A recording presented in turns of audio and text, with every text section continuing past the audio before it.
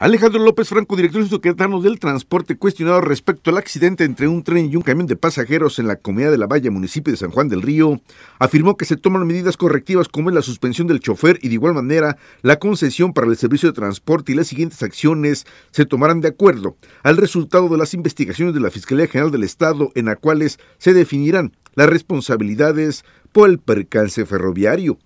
afirmó que la unidad de transporte público cuenta con un seguro de pasajeros, por lo que se activa en este accidente lamentable para las personas fallecidas y lesionadas, además de que se lleva a cabo una revisión de cómo está operando el transporte público en el municipio de San Juan del Río. Se atenderá y, con todo el peso de la ley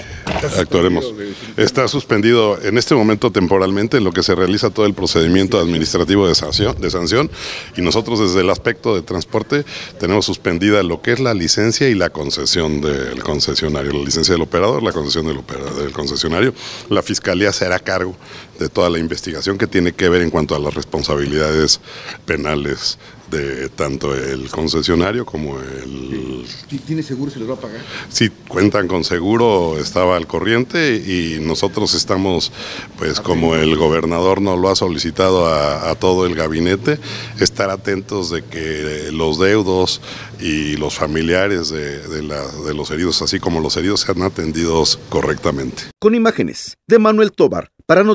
RTQ, Alejandro Cervantes.